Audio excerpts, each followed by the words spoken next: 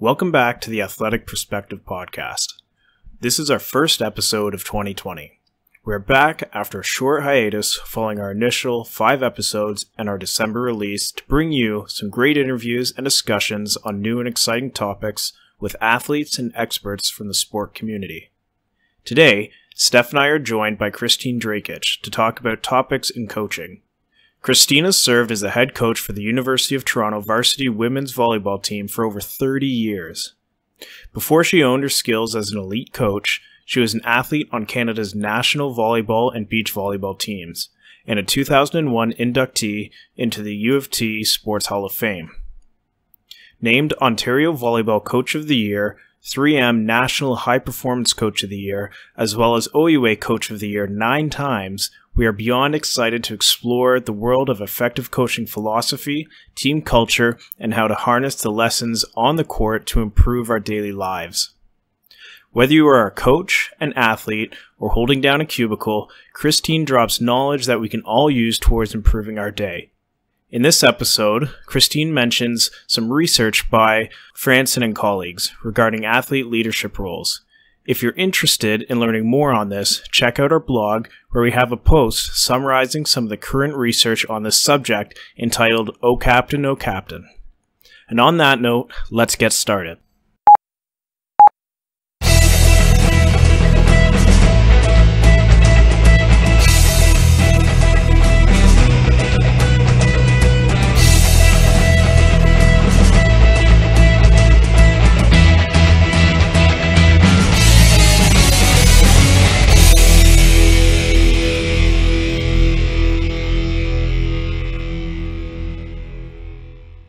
So, Kristine, welcome to the show. Both Steph and I are beyond excited to have you on the podcast today. And I thought we might start by having you give the listener a bit of background information or brief history about yourself uh, in terms of sport and coaching and so forth. Sure. My name is Kristine Drakich, and I'm the head coach of the University of Toronto women's volleyball team, and I've been doing that for over 30 years. I played volleyball and beach volleyball at the international level and represented Canada in both those sports. And I spent a great deal of time, I guess, volunteering at decision making tables at local, provincial, national volleyball organizations, including international. Uh, international volleyball organizations. So I've got uh, from volunteer to athlete to coach um, a tremendous amount of experience, and I came by my passion and love for volleyball, honestly, as my parents were both actively involved in sport. And my mother was a national team volleyball athlete. My father was a football player, but uh, as he met my mother and learned how to play volleyball, he began coaching and volunteering administratively in uh, Ontario Volleyball and Volleyball Canada. And my brother is a um, Olympic beach volleyball athlete and while educated as a chemical engineer, works now as a high performance uh, director for beach volleyball for Volleyball Canada. It's a family of volleyball. Well, that makes sense with how you got involved. Is there anything more that you want to share regarding how that came about? Well, funny story about that. Although I was always very active, I think my mother would was petrified that I would never engage in sports because anything she put me in as a as a young kid, I quit. I quit after the first day. Sometimes I didn't even make it through the first day. Whether it was figure skating, dancing, running, whatever. I quit everything. It wasn't really until maybe middle school, grade seven, grade eight, that I started to get involved in sport in school. And then uh, I wanted to do anything but volleyball because my family was volleyball, so I didn't want to do it. And finally, in the middle of high school, my brother said, "I think you're pretty good. You should go." And he took me to a club volleyball. So that's how I got involved in in rep volleyball outside right, of right. outside of school. And uh, I, I, guess it turns out I was I was okay at it. I never thought I was really that good. Um, and then I I tried out for provincial teams and I, I made it and tried out for junior national teams and I happened to make it. So I happened to make all these teams and I think that that you know just made it uh, launched my career in volleyball and then I I loved it and uh, started to get involved and I actually grew up playing beach volleyball because that's where my parents um, it played in the summertime. But back then, beach volleyball wasn't a an international sport. Well, it wasn't an Olympic sport. And okay. so I actually learned how to play volleyball on the beach, then made it to indoor volleyball, and then did a bit of both. And uh, anyways, I, I think it's just open for all sorts of opportunities. And every time an opportunity came, I went and tried out and I did things. And I was always small for the sport of volleyball, short. Um, and but I, I guess I, I made up for it in speed and quickness and smarts. Who knows? And and I, I just kept making teams, which I never thought that I would. And the next thing you know, just all these opportunities came, and uh, and I'm really, you know, I feel very grateful and and and blessed to have the opportunity to to now have a career in what is my passion, my love, my fun, and so I feel very lucky for that, and thankful for what sport has done for me. You played here at U of T. I did. Do you want to talk a little bit about that? I, I played here for uh, three years. The volleyball program here was was okay, and actually, I was told by everybody else, "Don't go to U of T because they're not very strong. You're not going to, you know, succeed." Uh, in the sport, and but it's where I wanted to go to school, so I, I, came here, and I knew the woman that was the coach here, and uh, I I enjoyed the experience here for for three years. Uh, I was an all Canadian athlete here, and then I left to go to the national team, so I hadn't finished my degree yet, and right. I went uh, moved out to Regina, where the women's national team was centered, and stayed there to try to qualify for the Olympics for a few years. We didn't qualify, and so then I came back and finished up my coursework here. Uh, played my uh, played another year of eligibility, and it was in that year that I tore my ACL and had on Friday the 13th of January, actually. Um, and and after that, uh, you know, I wasn't sure what I was going to do with with volleyball playing or not, and to go back. And the athletic director at the time said to me, "I think you'd be a really good coach, and the the position for the volleyball team is is opening as part time right now. We might be able to make it into a full time position. What do you think?" And I had no intention whatsoever to go into coaching uh, at all. I, I, studied sociology with a little bit of criminology, which maybe helps me as a coach. I don't know. But uh, I had no interest in it. Um, I obviously, I, I, I was a student of the game. I love the game. And I thought, well, what the heck? I still had a couple courses to take. I'll, I'll coach. So what was interesting about that is I was actually coaching all the women that I was playing with the year before. Right and so that was I was maybe 24 at the time, or no, like around yeah around 24 at the time when I started coaching. Uh, and it was, you know, I, I, I, think I was not a really safe coach back then because um, I was being, I was coaching the way that I had been coached, which uh, might not have been the most enlightened way of coaching. And uh, I've apologized to all those young women that I've worked with, uh, but I, I, I quite enjoyed it. I thought I could stay for maybe one or two years it ended up becoming a full time position through a Women in Sport Leadership grant that Sport Canada had at the time. And I, 30 years later, I'm still here. So I, yeah, I, I really fell in love with it. And as a coach here, you've had so much success and it's incredible. I'm just wondering, have you coached any other teams other than here at the University of Toronto? In terms of uh, universities, no. I've coached uh, I've coached Team Ontario, so I've, I've coached provincial okay. teams. I, yeah. I coached uh, indoor volleyball at the Canada Games, beach volleyball at the Canada Games. I coached um, different club teams, but not in terms of other universities or other colleges. No, I've, I've been exclusively at U of T. And so, through all of your coaching experience from the days that you've apologized for to now, you have this range of experience that uh, you're now offering as a teacher as well within U of T. Well, yeah, when I started, uh, when I got on here working full time, we were involved in uh, the academic side of, of things. So I would do activity courses and different things. And recently, well, for the last maybe almost ten years, I've I've been involved with uh, a course called Topics in Coaching here. Uh, and even before that, there was a theory of coaching that we would be involved as as TAs or or um, resources. So it's it's actually been really it's it's been wonderful here at U of T because I can you know coach volleyball, which I love to do, but also you know have an impact in terms of uh, young students and and thinking about coaching and and you know pursuing the passion in the classroom as well as in the uh, in the gym. And uh, just for some clarification for the listeners, that topics in coaching course is offered through the Faculty of Kinesiology and Physical Education here at the University of Toronto, and Tell us a little bit about that coaching topics course.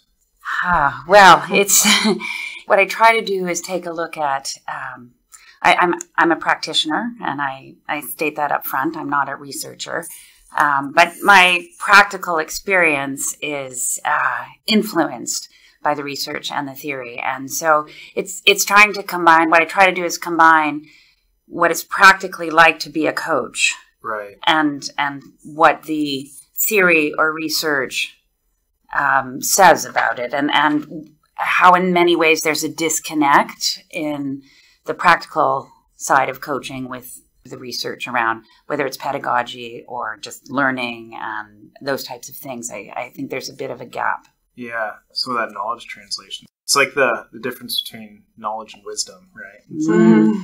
And the uh, so your experience is feeding into this course. Has teaching the course fed back into how you've changed your coaching approaches at all? Absolutely. I mean, it's um, it's been incredible to be able to to be current with what what is out there and and what the research is saying, what evidence is saying, and and and sort of implement that in my own coaching practices. Yeah. And I think I've always been open to learning. When I first started coaching, I just coached the way that I was coached. And there were some I had some wise role role models and influential people in my life who would take me aside and go, uh, whoa, why are you doing this? And do you even know that you're doing this?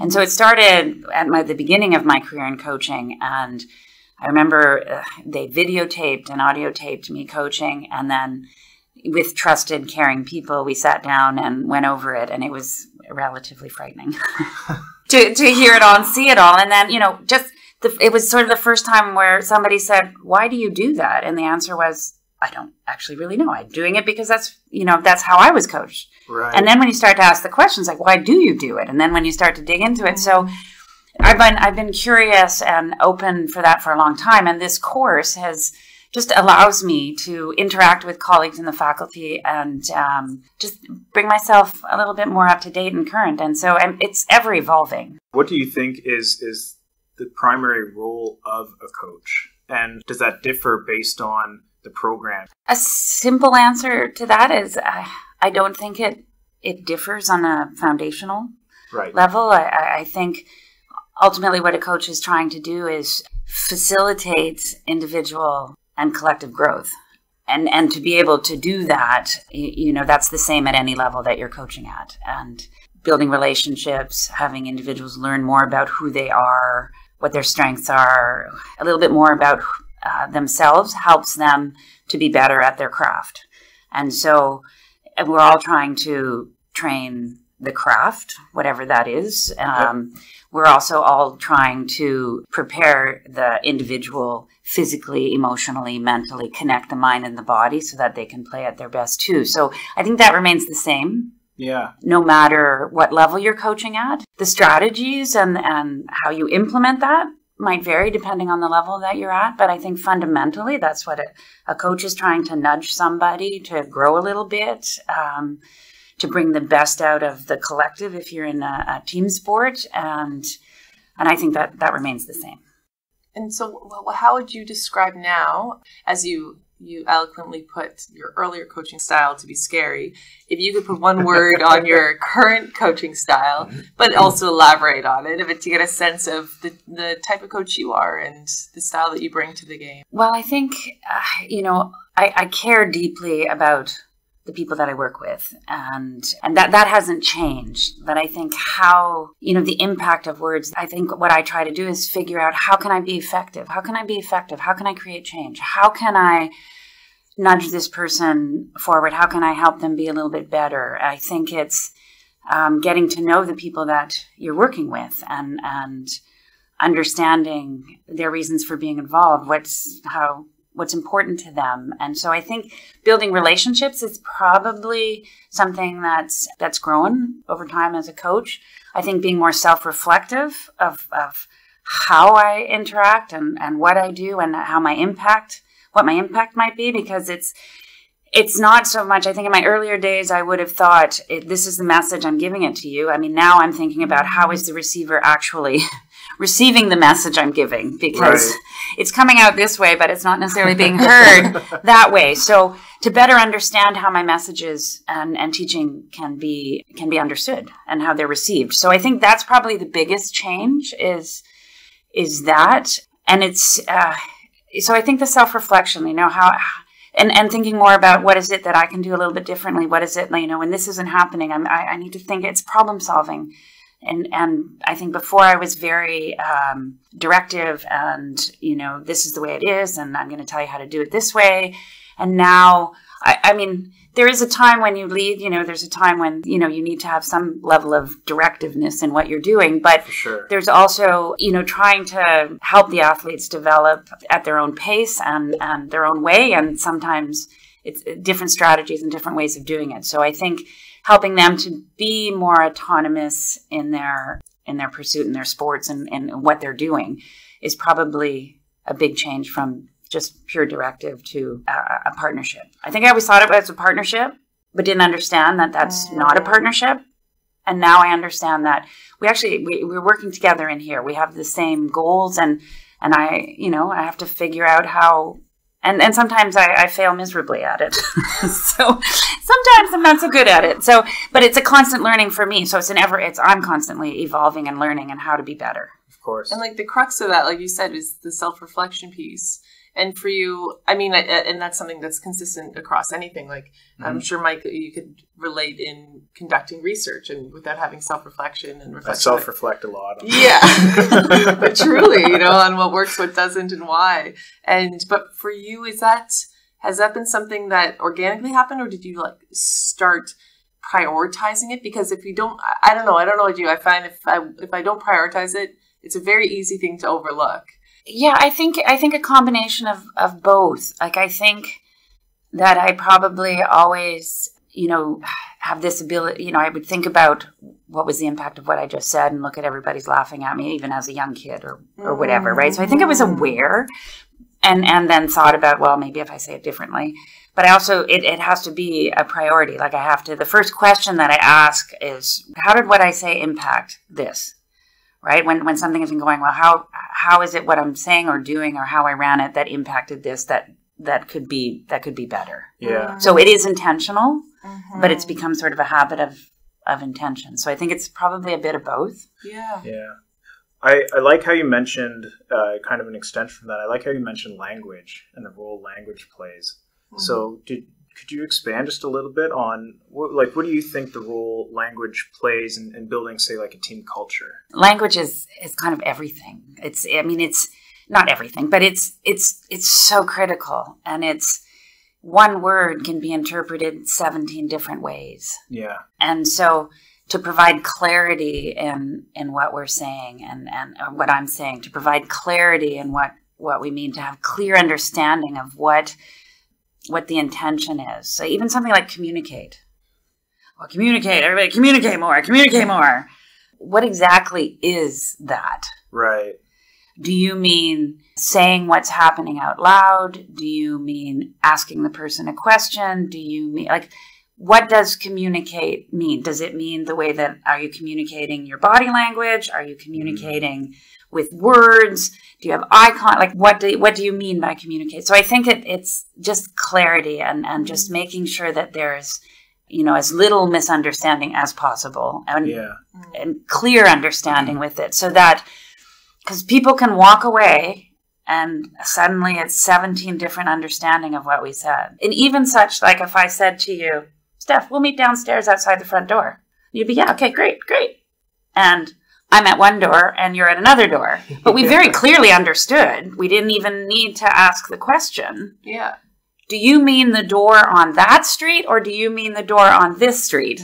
But so language is, is huge and language in the moment of in, uh, of intensity in sport can be interpreted. Again it depends on the lens with which the receiver is hearing hearing it. If i if the receiver is feeling very confident feeling good and then you say something they might not even notice it. And if they're self-doubt and not feeling good and then suddenly this word says oh my god she's disappointed in me. She's Yeah. done. So it's so huge. Like when I think of language in sport, there, there's two things that come to mind: the angry coach at halftime going and just giving some deep emotional uh, speech that just empowers and motivates the team. And then on the other side, that coach that just says maybe one or two words, mm-hmm. just get it done, or what's the next task, or just a simple, simple message. Well, uh, what I think is is the most challenging part is right, like reading the, the feel of the room and, and, and the people mm. and, and yeah. what is, what does this moment call for? What does this moment, you know, what's going to affect the change or what's going to affect what I want to do? What's going to have the most influence in this moment? And it changes. You can have that same group of people, but the context in this moment is so totally different than the next moment. And so to try to figure out what's going to be the the key mm-hmm. to, to make a move. So I, I, I, I mean, there, there are things, but it's almost that becomes a feel of it, right? Like, so what is, what is happening in the moment right now? And how can, what's going to inspire them in this moment? What's going to inspire? And what I don't want to do is distract them. What I don't want to do is interfere. And so it's that fine balance between how do I inspire and not interfere? Because sometimes when we speak, we say things, and then I go, "Oh my gosh, I just totally messed that up." And it reminds me of I don't know if you remember one of the Olympics. There was um, a speed skater, and I don't know, he was like a fifteen thousand, uh, fifteen hundred kilometer, fifteen hundred meter race, and you go round yeah. and round and round, and you have to switch lanes. And his coach, he was on a world record time, and his coach was telling him to switch lanes, and he mm-hmm. himself thought, "Well, maybe I don't switch lanes, right?" This was about 2010 maybe in the winter olympics. And he was going round and round and the coach said switch lanes switch and he switched lanes and he got disqualified. And he was on a gold medal right? And i thought to myself okay so you i mean you just have to be careful because you do not want to interfere. Like you you you, yeah. you want to help you want to inspire you want to move them forward and, and you don't want to interfere. So i think uh, for me the art is figuring out what is it that's that's most important. I mean one of the things is you know, where your attention goes, energy flows, right? So that's mm-hmm. one to try to get them back like what's most important here, right? Because where your attention goes, energy flows, mm-hmm. right? And and so it's it's trying to figure that out. And I think it's being very mindful of of even how you say for for example, if somebody is having difficulty with a skill and it's just you're not ready yet. We're going to keep working on it. You're not ready yet. Like to just even give the the inspiration that it, it'll come just, mm-hmm. you're yeah. not you're not ready just yet. Like we will get there. Like and, and maybe they they try out for a national team, or it's just that you're just not ready yet. We keep working and we keep doing it and kind of inspire them. So I think it is about reading and understanding, and that's where getting to know the people that you're working with is yeah, critical. Getting that rapport. Yeah, and it also sounds like it sounds like in the way that you were asking the question, Mike. It, it's it comes. It's almost like can we create this handbook? For coaches like a good you know solid phrases solid language yeah. help me pass on your wisdom. And then but in this in the way you've described it it's experience based. It's feeling that room and be like i felt this before and last time x didn't work. So this time i'm going to try this or and so yeah we can't we can't just make a book about it. You've got to live it. You've got to learn it. Yeah. Yeah. I, I mean that's sort of what you've talked about in terms of you know the halftime speech or the different you know yeah. those sorts of things. I, you know, I have learned to to be mindful of my words just in communicating with people, though, in terms of mm-hmm. we're not ready yet. It's, it's, context, it's it's the people, it's the relationships, it's it's all those things. It's being aware of that and uh, being aware of what we're focusing on. That that for me, that becomes a lot of self reflection on what I'm focusing on, because then my feedback sometimes is is maybe you know not providing them with what they're doing well enough, more providing with what they need to work on and and I have to be very conscious of that. I slip right. back into that mm. a lot, uh, and trying to ask them, "How can I coach you better? How can I give you better feedback?" Now, do you find athletes vary in the type of feedback they like, and do you find that difficult trying to bounce back between somebody who just wants you to be hard on them to push them versus someone who might prefer a more softer approach? Well, it's definitely difficult because everybody is different, and I think it's because they've come from 10 years or eight years of a certain amount of training. And so, how can I be an effective leader? But I also have to I have to meet them where they are, like where they've come from. And so, this is where the research, the the the theory and practice becomes difficult because what the athletes sometimes think they need. It's because that's what they've had. It doesn't necessarily mean that this is the best environment for learning. It's the environment I'm used to, though. It's the environment that I, I expect. And so it's, there's a bit of unlearning in the times that, uh, I mean, coaching at the university, we have the, the student athletes for four to five years. So there's a period of unlearning and then and then learning for some. So it's trying to create an environment where they can learn and they can grow, and all of us, and myself included. Um, and then, but also meeting them where they are, and when they when they come in, they come from so many different places, and and and what they're used to, and and what they think is works best for them. And how how has your experience as a player influence your coaching style? I think now, uh, not as much as when I started. What was interesting in my first 10 years of coaching, I also was a national team beach volleyball athlete. So I competed internationally and was an elite uh, high performance athlete at the same time as coaching. And I think that was actually a really, probably the most val, where I could like literally I was the athlete in those moments. I am now the coach in those moments. And I was I was more mature. I was in my mid 30s by this time. So the age and my experience allowed me to to sort of be able to cross reference these very very easily.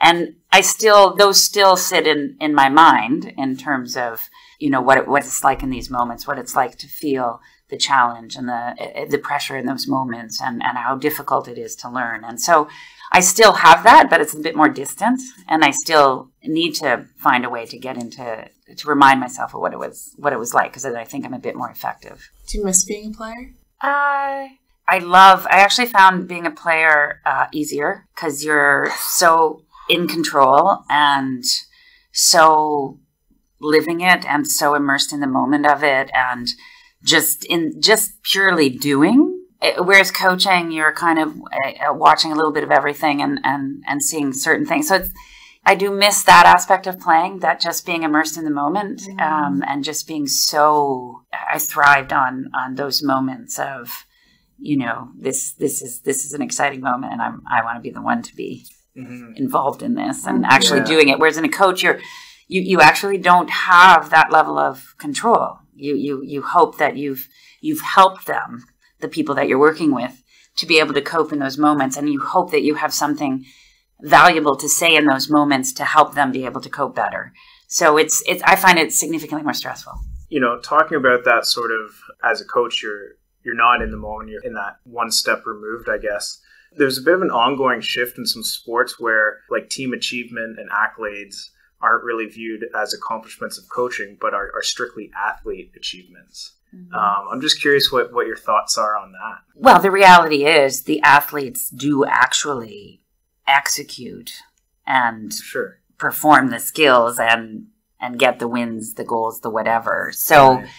I, I, think it's it's obviously a community a community of, of support and people who facilitate that and and help that to happen. But it is actually the the athletes that mm-hmm. that do do that. It's the it's, it's the athletes that actually perform it in those moments, which are incredibly stressful. Yeah. And I think it de- I think it depends. Sometimes you know they say, "Well, the coach has done that," and then sometimes they say, "It's you know, the coach had nothing to do. It was the athlete." So, I mean, in my world, and I live in a little bubble because I have this. I have this love hate relationship with sport. I uh, completely love it because it's incredible in terms of um, personal growth and it's just a fabulous place to, to be, but it's also uh, so superficial and ridiculous on, uh, on another level. So I, I live I, I live in the middle. I'm a paradox and I live try to find peace somewhere in the middle.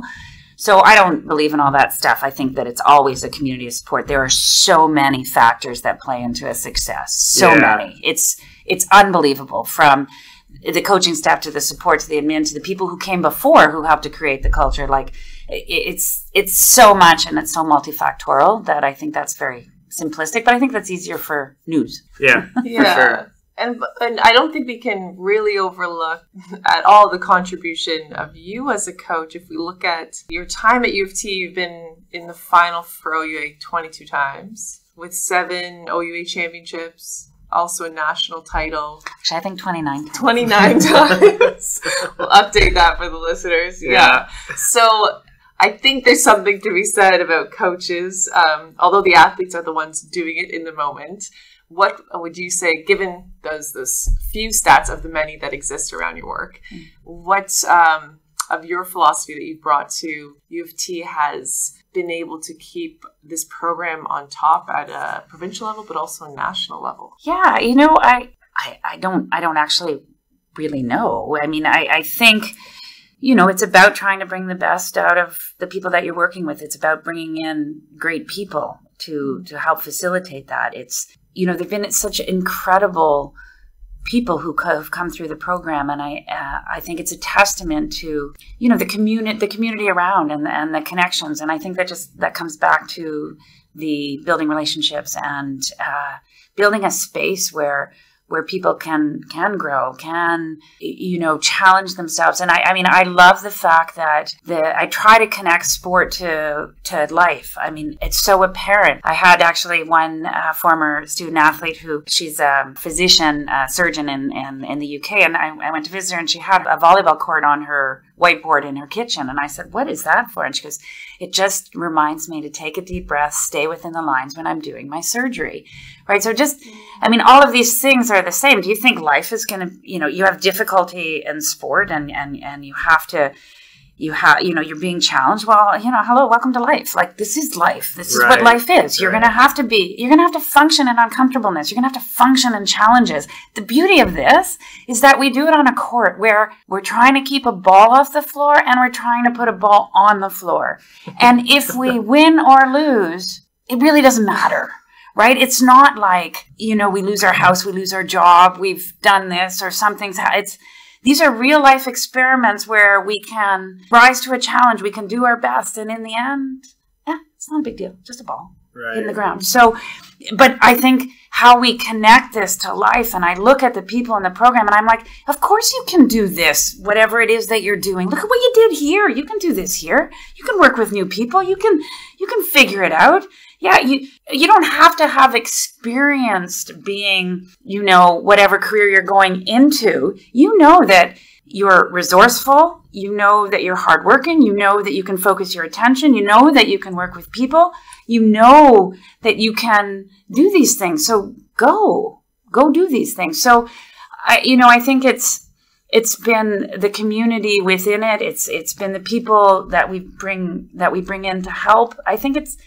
yeah, I, I, I don't really know, but I do feel that there's this, um, you know, that it's it's it is volleyball and it's important and super competitive, and I'm always trying to win, but at the same time, like, it's really about how we can be free to play at our best, to be at our best in these incredibly challenging moments. Mm. Yeah incredibly challenging. Like, and when my father had a stroke, I remember, and he was an athlete, and and he had to teach himself how to use his left hand again. And he'd be in physio and he'd be like, I don't understand why those other people, they're not trying. Like they're, they're not, they're not, like you gotta do it. You can't get it the first time. I said, I know, Dad, not everybody's an athlete. Not everybody's been through this, right? So I think it's just, it's this incredible, uh, you know, life laboratory that has no consequences, really. right? Yeah. And, and, and that you can use these things. So, so I, I, I think the people who've been involved in the program have, have grown and continue to give back, and they're dedicated and work hard. They're incredible uh, student athletes who come in here, and the people who come in here want to be challenged. Like they, they want to have a challenge. So not everybody will thrive here, and the ones that do are, you know, um, in, enjoy challenges. So I think it's the challenging, caring environment and, and where these people go beyond volleyball is like I, I think one of the, the most rewarding things for me is looking at the people who've been involved in the program and just seeing where they are now and knowing that when they when they leave this program they're they're they're strong they're courageous they're going to weather storms they're going to be able to do it and you know they they they know that they're capable. And then to see them come back and and to be involved in where they are just it's incredible. For me maybe maybe others have heard this these terms before but the way you said life laboratory and these real life experiences that are in more of this controlled environment where the stakes aren't as high uh, in terms of like the greater impacts in your life outside of the court. Yeah. It's just like it's it's so beautiful because it's so often we all doubt ourselves and these are perfect examples of being able to have achieved it even if you don't recognize it but having someone like you to say to your athletes to say you just did this and it's those small things those small experiences are what allow us to take that next leap because without that sometimes we just think there's no chance in hell I'll be able to do that. Yeah. So that's yeah, uh, it's beautiful. I mean, you you'd mentioned, and, I know we've talked considerably about how it's you know your your work isn't just your work; it's part of a, a, greater team. What sort of characteristics do you look for in a supporting staff? Whether that's that's coaches or physios, or are there any sort of like personality things that just work? They don't necessarily have to be involved in volleyball. It, it depends. Um, you know what? A really important piece is open to learning. Is uh, you know, obviously qualities of, of integrity and, and honesty, but also humility. I think we all have to be, you know, willing willing to learn. We all have to be open to learning and and and with as well, I'm going to say loyalty, but I, I, I meant in terms of that we, we all have the same goal in mind. And so that's why we're willing to be open and we're willing to, to learn. And so I think that's, that's a big piece in how you your relationship with somebody, and so your interpersonal skills become critical. And obviously, the the skills that they provide need to fill a gap in in in what we have. So, mm-hmm. and and I think you know as much as possible, putting people around me that are not the same as me, and so we have you know different personalities and um, different ways of doing things, and and um, so I think that's really important, as well as the skills that that are involved in. Uh, so you know, and everything from uh, dietitian to uh, sport med therapy to um, mental performance. Uh, I'm going to call it sociocultural group dynamic type things to uh, technical things and and uh, volleyball aspects. So everything, whatever can you know fill a gap that we have, we we we look for for that, and then for sure try to find different people, different personalities. So one of the things that we had talked about how you can advocate for yourself as a coach or, or promote yourself. So maybe like a hypothetical, you're applying for a coaching position you know what sort of skills or achievements stuff like that would you use and then as an extension how do you negotiate term for a coaching appointment as well well, I think in terms of, uh, you know, what you would highlight if you were applying for a position, I think you, you, have to really know what you're applying for. Like, what's what is the what is the organization or what is the team or the culture, and how can you you best fit? You know, what are the skills you have that can best fit into that, um, and highlight those. I think it's really interesting because I think I've had lots of successes um, in terms of medals or performance and those types of things, which to me are are not so important, but they actually get you in the door because you know it's that superficial side of sport where those things become really important to some people. Right. So you know, but you don't necessarily you don't have to have those things. But if I were, in some ways, to, that actually it gives credibility in right. the sport community. Yeah, is it important to me? No, I mean, yes, I always want to win, but is is that what I would say would be my biggest thing? I mean, no, but I would say I can I can help you be successful, and this is how I can help you be successful. These are the things. So knowing what your strengths are, I think is is is the most important thing. So what highlight your strengths and not try to be the strengths that you think coaches should be or that you've seen or, or that they want. What is your strength? What is the strength that you offer? And this is what I can do for you. And this is how I can make your program better and how I can help you and, and how I can learn from you as well. So I think it's um, it's knowing that it's knowing your own strengths. It's there's so many factors that play into it, but I think if you know your strength, and if my strength is you know uh, technical expertise, or my strength is strategy, or my strength is analytics, or my strength is is this, then then then say this is the strengths, and this is where I think I, I can fit into the program that I can help you in terms of thinking about terms of a, of a coaching contract or something. I mean, so many pieces need to go into it. You know, to think about for me, it would what's important is the length of term because I, I what's important to me is relationships and and getting and, and understanding and growing and building a, culture. So that doesn't happen in one year. So that that takes some time, and putting the right people, ensuring that I had some freedom to to put the people around who I think can help me and, and the program facilitate that would be another conversation. Who what are the supports that are are provided? I also think opportunity for you know professional development, and hopefully that wherever I'm going is is interested in in helping me grow. And these are some of the things that I need to help me grow as a coach, Yeah. And what the expectations are coming in from the organization. And I, I do think, in, in sport, if you can, if you do have successes in the way that the mainstream sport sees it, you, you want to put that out there. You want to say that I've I've achieved this, mm. I've achieved that. If you have them, because that's sometimes what what they look for, right? And Right. and so that's that is important.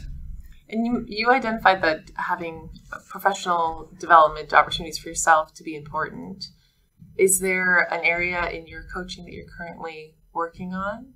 Uh, well, always. Uh, in many things, I, you know, one of I think one of the things, the sort of just making sure that I, I sort of am aware of, of sort of some of the trends internationally and, and strategically what's going on in the sport, which which is the fun thing to do. Well, it's all fun, but um, I, I I like to do that, and I have an assistant coach who's. Uh, who's European, who has uh, access to watch a lot of these uh, international matches. So that's uh, that's and and and have some discussions there.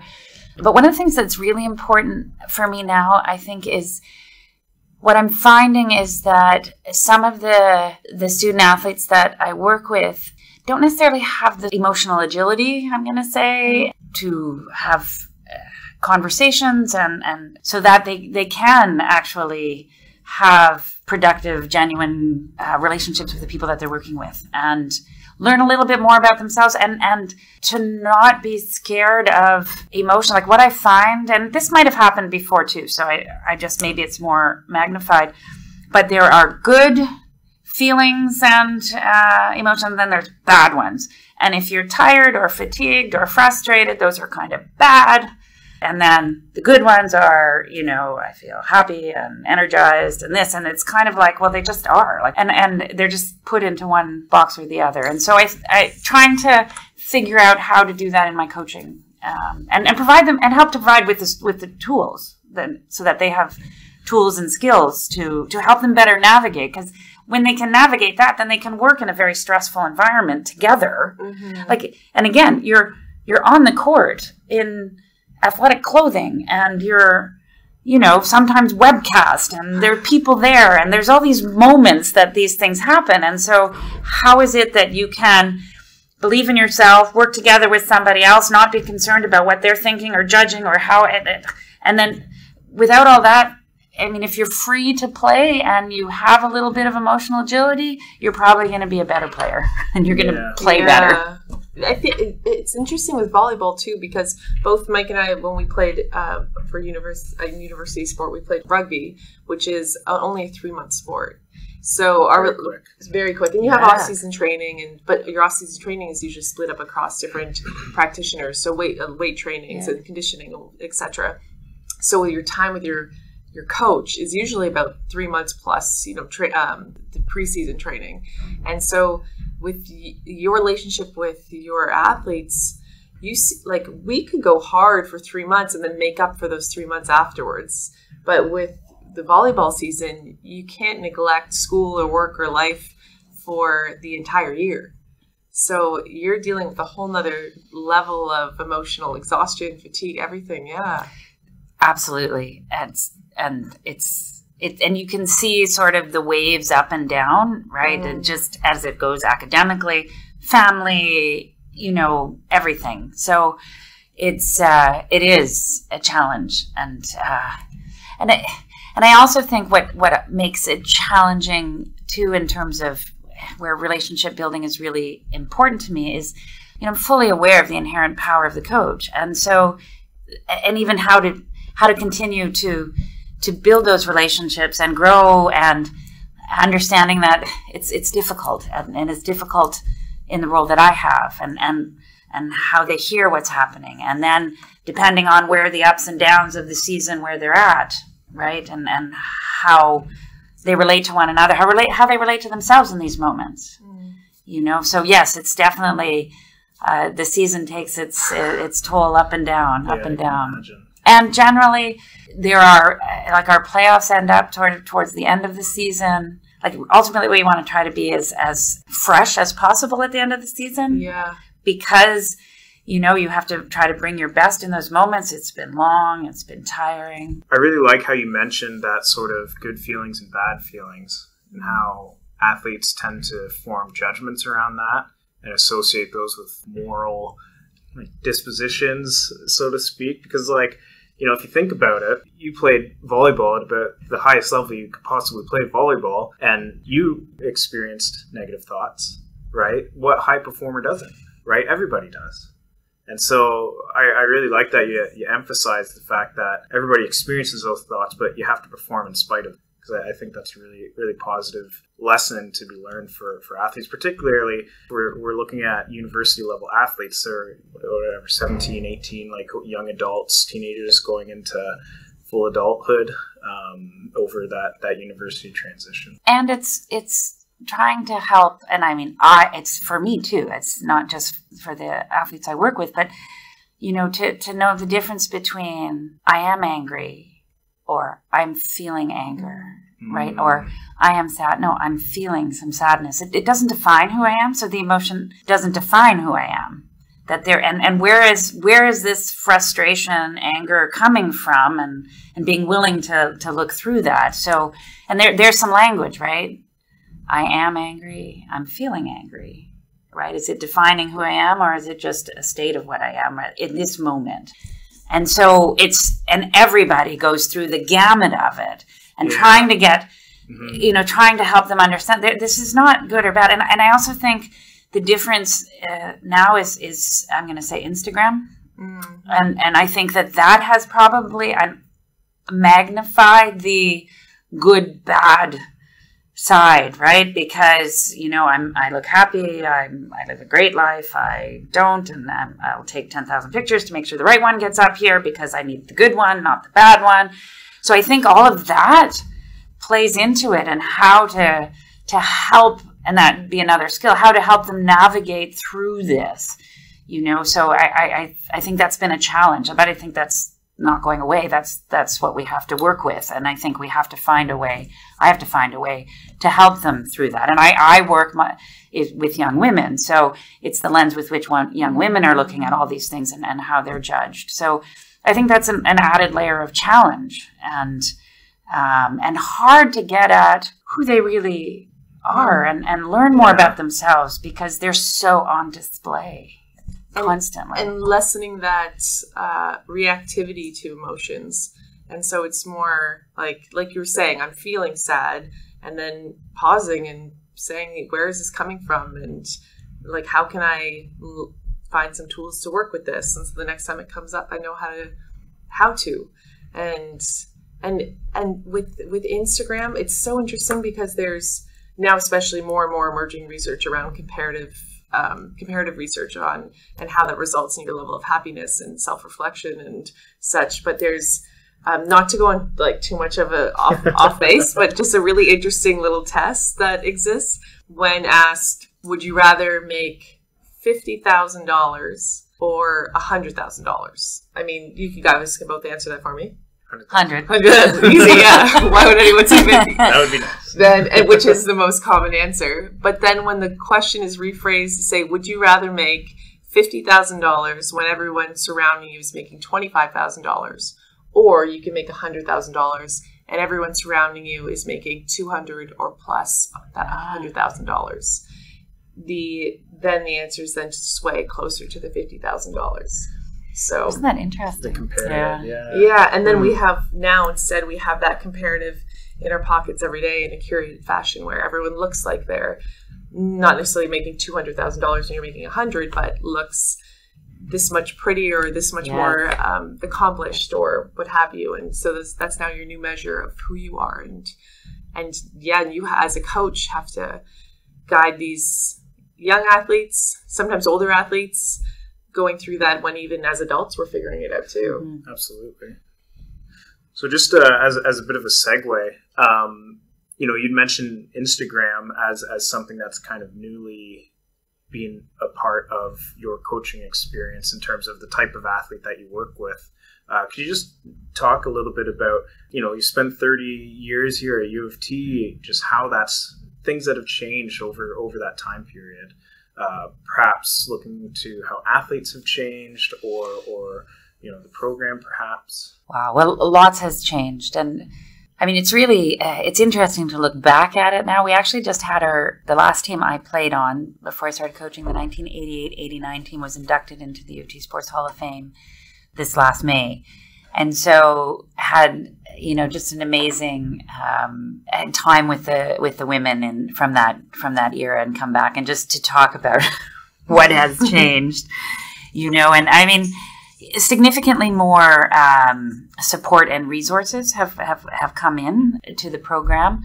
Uh, but with that has also come more expectations on some level in terms of performance right? So and obviously the even just like back then I was laughing because you know, I mean, you used to actually have to phone up somebody and tell them something, right? Like now nobody does. They text, they move, they do whatever, right? Yeah. You take two vans and you you couldn't talk to the other van. You'd have to draw a note on the window to say, "Hey," right? So there was, I mean, just inherently there was more interpersonal conversations because you had to. There wasn't right. anything else. So I think that's changed the nature, and I think have to be we have to be very intentional about having um, conversations. And and when it's explained to the people and to the athletes you work with it makes total sense to them. And they totally agree. For mm-hmm. example you know yes we don't get to actually talk very much. So when we at meals our cell phones don't come out right? Like this is just we we talk. Like so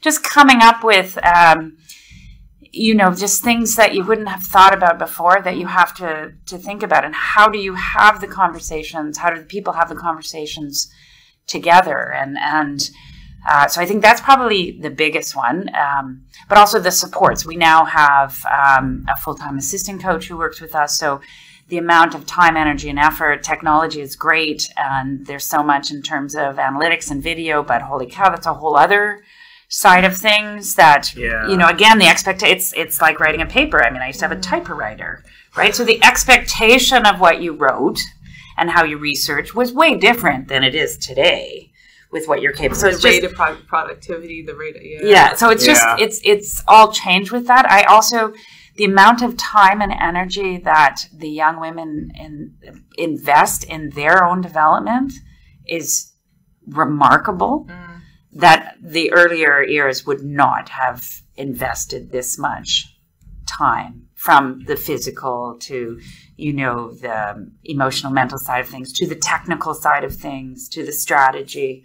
So it's it's really way more time invested in there than in the past. So it's yeah i mean it's just it's it's uh, it's evolved and in some ways you know has allowed us to really grow and flourish. Like now we have a few athletes who've who've made to the national team who competed in the 2012, 2016 Olympics. Like so that's that's really changed and and in terms of their growth and and the number the one thing that hasn't changed is that the people who come out of this program and out of U, U of T are incredible like just what they do and what my hope is when they come in that I can nudge them and push them a little bit further than what they think is possible for them not just in the volleyball court but you know, so well, mm-hmm. why?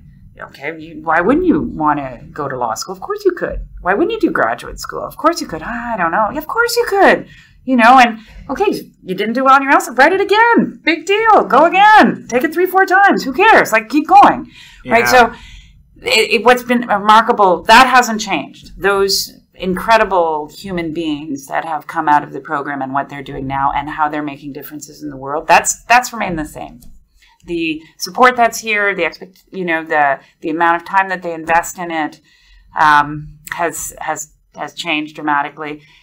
We have to be more intentional of dialogue, more intentional of conversations, more intentional of building. I think team culture. It has to be really intentional. It does not. Whereas I think it happened automatically back then because they had nothing else but to talk with one another. Mm. And so there was a bit more conversation. So it just, it, I think, have to be more intentional. We cannot take it for granted that if you put three people together for, you know, in a hotel room for however long, that they're actually going to get to know each other. Right? Like, I'm, I'm fascinated sometimes, like, we'll go someplace, somebody's parents have us for dinner, and I just said, oh, why doesn't, you know, this is a new athlete on the team. Why don't you introduce yourself, say something unique about you?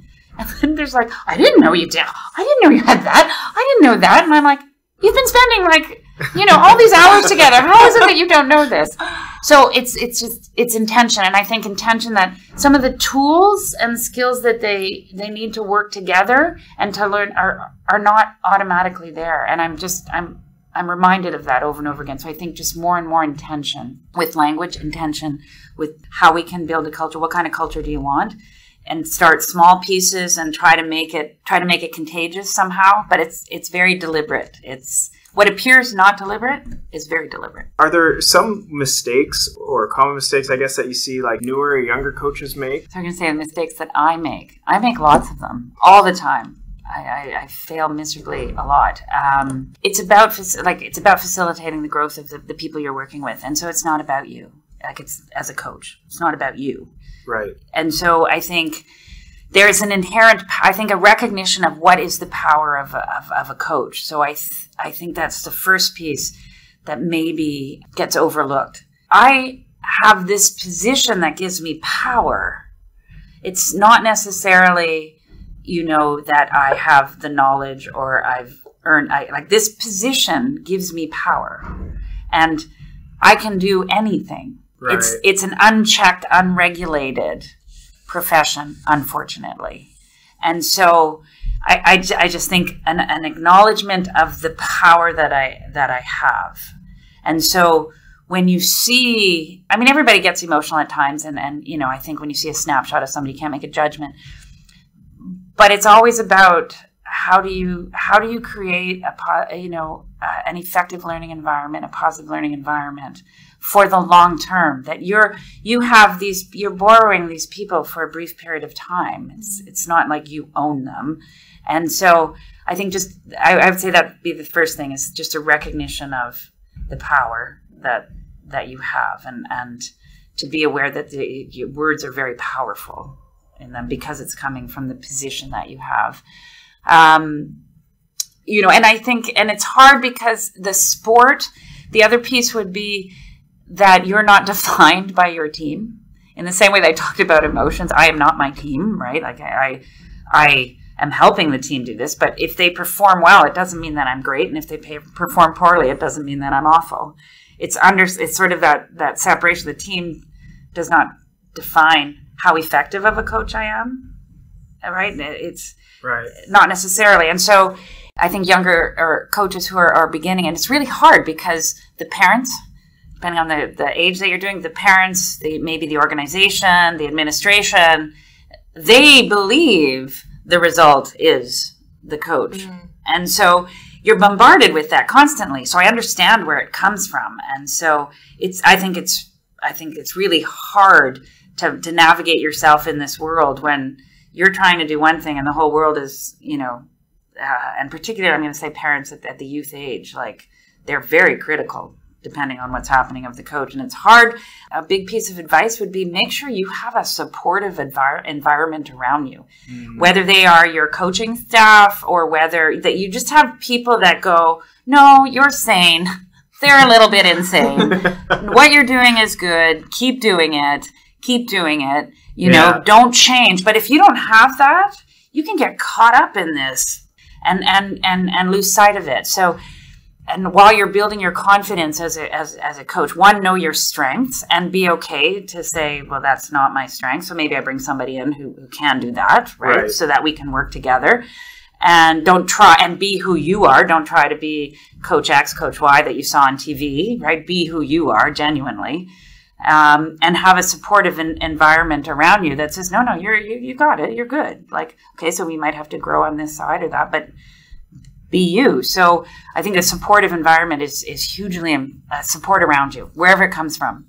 That you've got people that you can go to and go, oh my gosh, like I can't believe this, because you're you're going to start you're going to start as a, co- a, young coach you're going to start feel that uh, or and i know i did that people would perceive who i am not just who i am as a coach but who i am based on how the team succeeded mm. and i think when you're young particularly a young new one you're still trying to figure out your own right you have your own doubts and your own this and you're so the comparison thing and mm. so I, I think it's even more challenging Right. And and I don't think we necessarily support new new coaches coming in with supports that say, okay, especially if you're not of the dominant group who's coaching.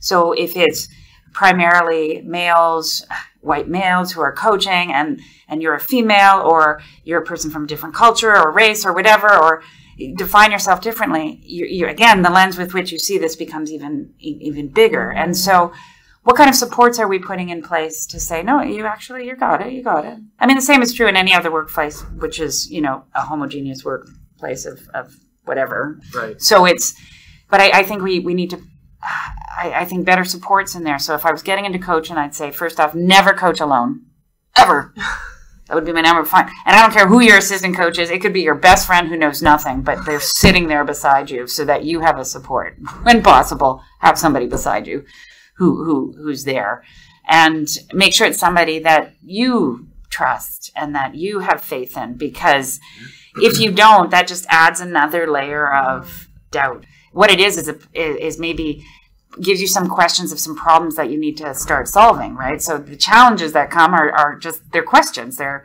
they're research mm-hmm. questions. Okay, so how how am I go about fixing this, and what is that? And so you right. can't ignore it and say, oh, it's just the athletes; they don't get it. It's like, okay, this is this is a problem here. I have to figure it out. I got to come up with some kind of a solution.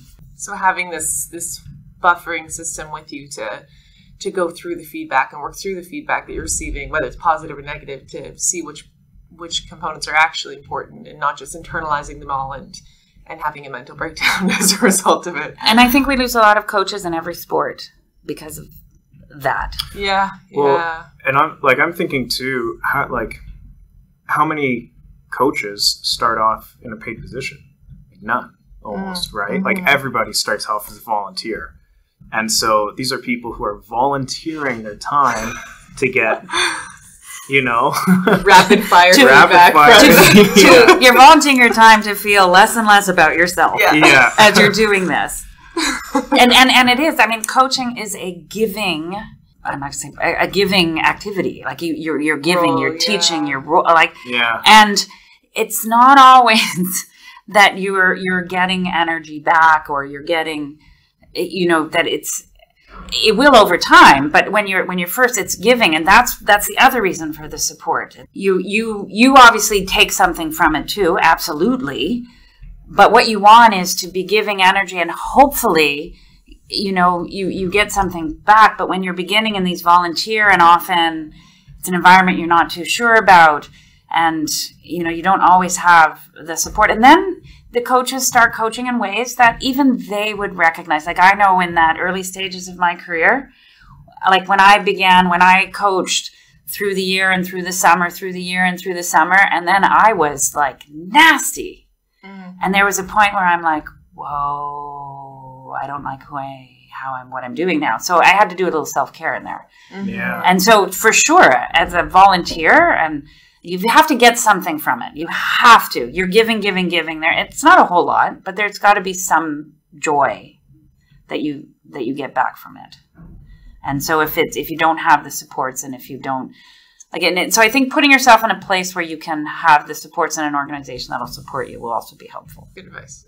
Yeah, that's. I think that's such that's incredible. One of my uh, coaches who, who said, you know, it's it, it's it's like being a, a graduate student, right? You have a committee you have a supervisor. You yep. have, and so you don't always like the advice that they give you, but you know they they're there as support. If they just said you go do it, it would, and then you at the end you go in front of a group that does nothing but throw a whole bunch of curveballs and says your work is this and that and this and that. It'd be very difficult. You have you have supports with you. Yeah. So mm-hmm. it's the same type of thing, and I, and I get I think because it's volunteer, we don't have that many people they're desperately looking for somebody to coach team always, X, teams Y. Always. And then somebody goes, Yeah, this is great. And they come in there and then they're like, Oh my gosh, oh my gosh, I'm out of here. Like, this is just crazy, right? So now, how do you identify a leader for your team? Because there's so often, like, so quickly, we would see somebody who's charismatic and dynamic and um, putting up all the scores, and you're like, they're clearly could be the captain. But is there something beyond what most people would jump to in terms of like captain potential and leadership potential that that you you see? I mean, everybody has the ability. Everybody is a leader in some in some way. I think what we traditionally see as the there's a point scoring leader on you know perhaps the the player, and that doesn't necessarily mean. And in fact, what a lot of um, research suggests is that they are actually the one. They might have influence, but they might not be the one who's best able to lead the team. And so, you know, finding the other leaders, and, and I think it's a combination of leaders. So, uh, and it depends on the sport that you have. Like in the sport of volleyball, the captain is the only one who can actually speak to the official. The coach can't, and no other player can. So sometimes when you see, you know, who's the coach in volleyball, you have to find somebody who on the court can go and have a conversation with the official, then come back and do their job. And so it's not necessarily the person who leads the group, mm-hmm. right? They have a, a different role. And every sport is different in terms of what the actual quote captain needs to do.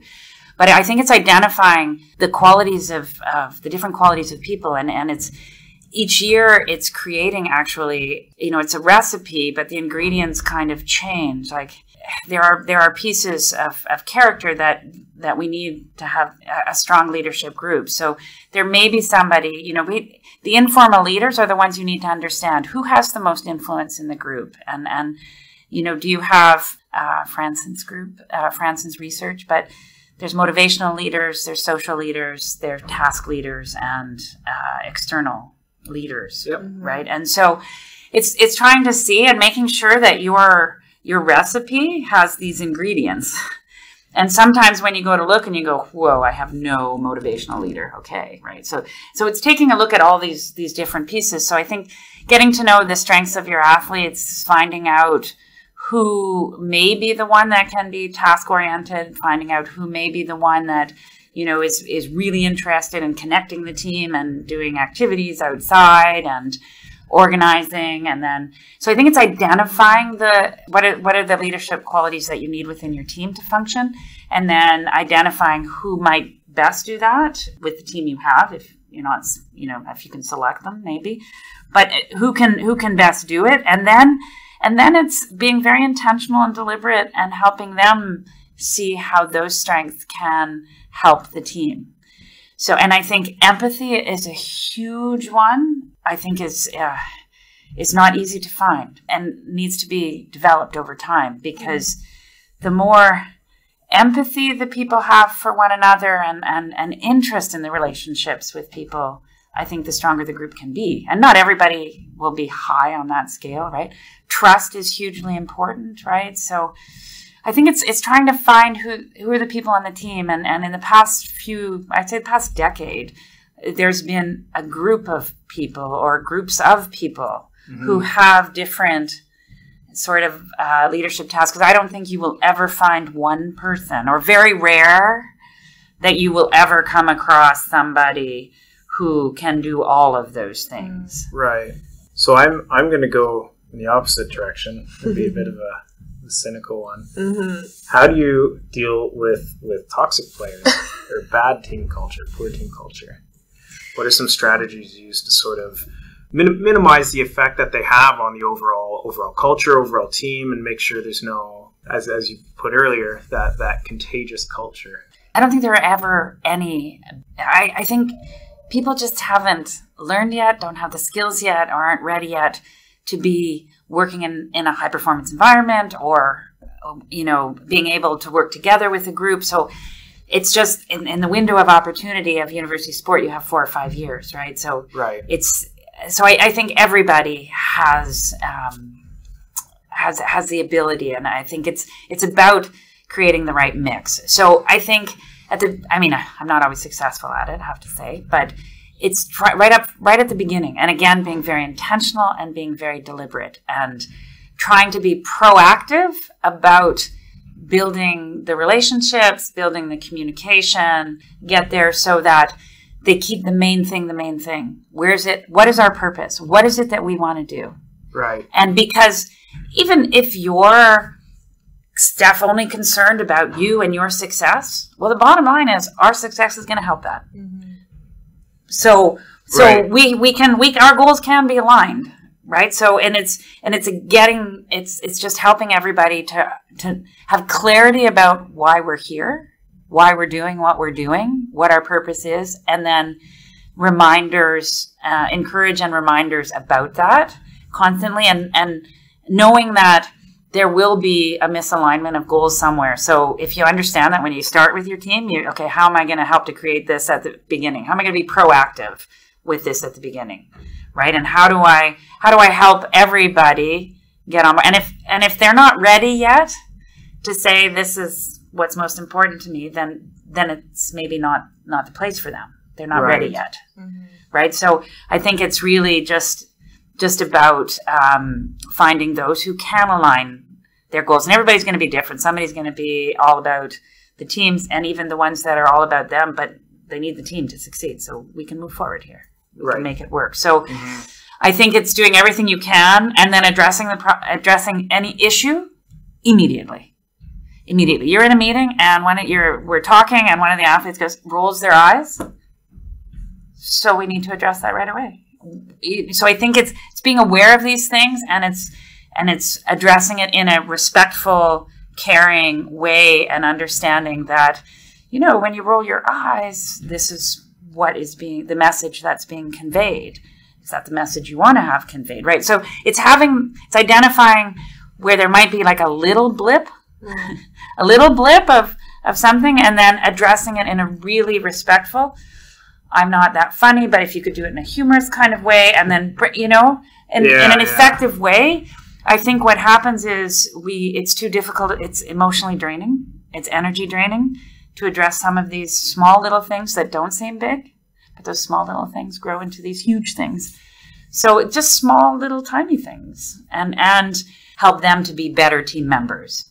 It's so fascinating that you use the example of eye rolling because like you were just saying it's so small but can be can lead to something so much bigger. There's a, a researcher expert uh, in relationships. His name's escaping me right now but his the major identifier of a relationship that's uh, on the brink of breaking down is eye rolling between couples specifically but as an indicator of contempt or etc but it's one of the few that he would observe and could link to future breakdowns of those relationships if not addressed. It's everything from even eye contact. Right, like what I found is, and it's not that these people even know.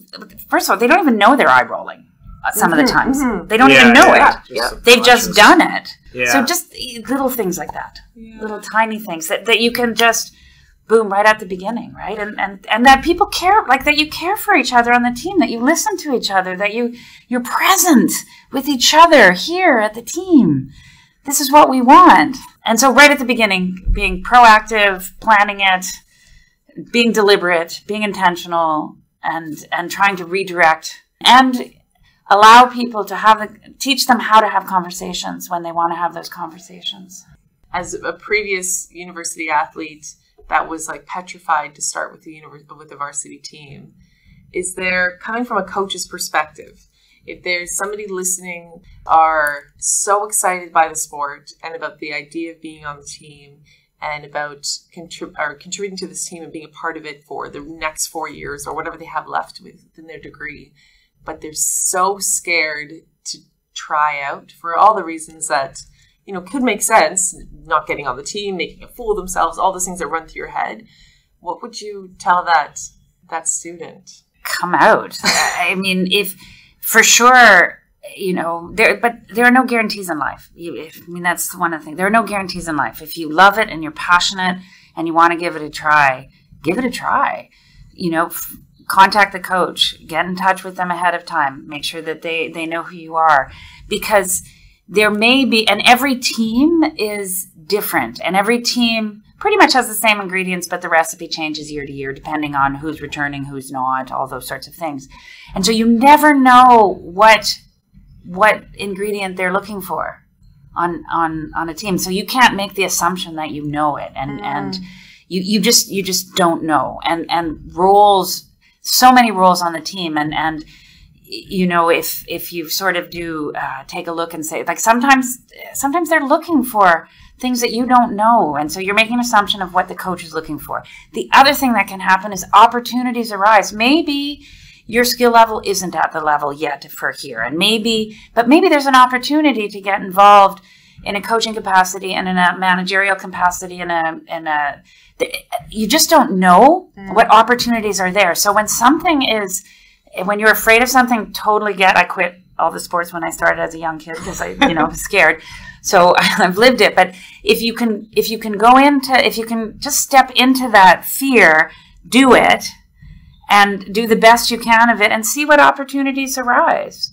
And so if you're not selected and if if you talk to the coach and say are there any other opportunities see what's possible and if not then maybe it's an opportunity for you to to look at in a different way right there's there's intramural activities there's uh, officiating there's coaching if you love and have a passion for the sport there might be another way that, that you can find it and maybe the coach and the program can help facilitate mm. that mm-hmm. like we have many you know, one of the things when you come in, sometimes you've played the sport all your life. So we have people who play volleyball their life. They're defined by it. It's their identity. It's all these things. And then as they go through our program, they begin to realize, you know, I love the sport, but I'm not sure I want to spend 40 hours a week doing it.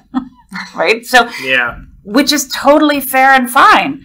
But I love it. Okay, so let's see if there's an alternate route that you can use your passion in sports. So help them get their certification, help them find ways that be that support network for them when they go into that mm-hmm. space. So like take the risk to the risk taker goes the reward is one of the things that i always say and so take the risk mm. take the risk and and do it what is the again so you don't make the sport team you know you move on you go you do something else so you find something else like take the risk do do everything because you you don't know and that's the thing about you don't know what you don't know. So even at university, if there's a club or a thing that you're interested in, but you're like, ah, I don't know, or I've never heard of it, and then you go into it and you're like, whoa, I like that. You know, I didn't have a clue what linguistics was, and I took this course, and I'm like, whoa, that was really interesting. So, you know, take the risk. Take the risk if, if you're you're passionate about it, because you have to have a passion for it, for sure, and take the risk of doing it. Mm. And something something really worth holding on to is, like you said too, it might not turn into a, our as, as somebody going in and try out becoming a varsity athlete, but it might turn into so many things you could have never predicted. And as a result of being just be having FaceTime with the leaders in that sport in that field. So yeah, and you said too, shoot an email to a, a coach or go visit them. That's something I would s- assume that you could probably speak for across the coaches within the university that that's very welcomed from interested athletes. Very much so. Yeah. We're a little slow in responding sometimes, so you might have to do two or three. But and, you know, and I, I, I still remember we had one uh, student athlete who came from BC and she wanted to study engineering and she wanted to be in this position. And I said, well, we we're full. We don't have that position. You know, thanks for your interest. And she wrote back and said, just reminding you that I'm here and I'm interested. I'm like, that's great, but we don't need it.